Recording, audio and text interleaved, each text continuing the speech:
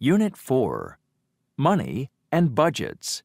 Chapter 1 A Student Budget. Page 51.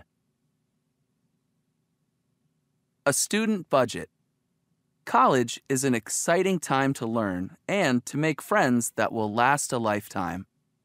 Many students do not like to worry about money and would rather not think about it. However, it doesn't matter whether a student's parents pay for everything or whether the student works part time to help pay for his or her education.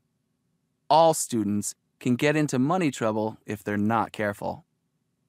The cost of a college education can be high. In English speaking countries, the average cost per student per year can be well over 15,000 US dollars. Students must also pay for books, paper, pens, etc. These can cost 500 to $1,000 per year.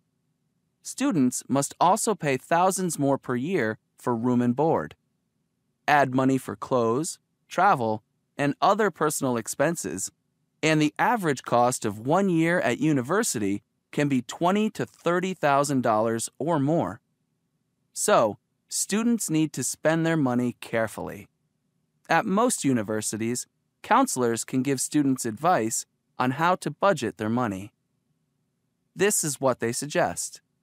At the start of a school semester, write down your income. For example, money you will get from your family or from a part time job. Then, list all of your expenses. Put your expenses into two groups those that change food, phone, books, travel and those that will stay the same tuition, room and board. Add together all of your expenses. Are they more than your income? Will you need to borrow from family or friends? Or will you need to get more money by doing part time work?